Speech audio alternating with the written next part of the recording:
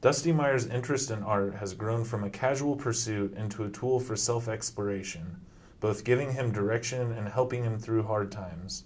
His initial involvement in the art community began with his interest in becoming a museum curator. As he became more invested in learning art history, he noticed that his passion was leading him back toward creating art and rekindling his creativity. When his best friend committed suicide, he realized the different path his life could have taken.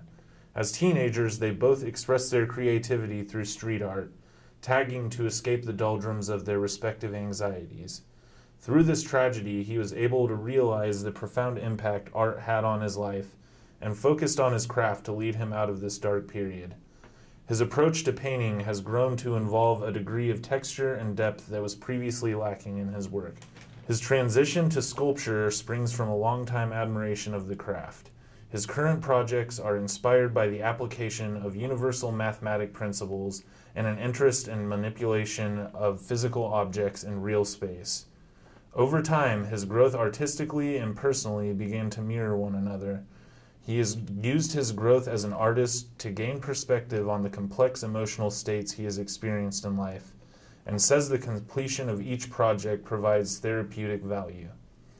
His quest to further develop himself as an artist has allowed him to develop tools for coping with the dark aspects of life, while also providing him direction academically and one day professionally.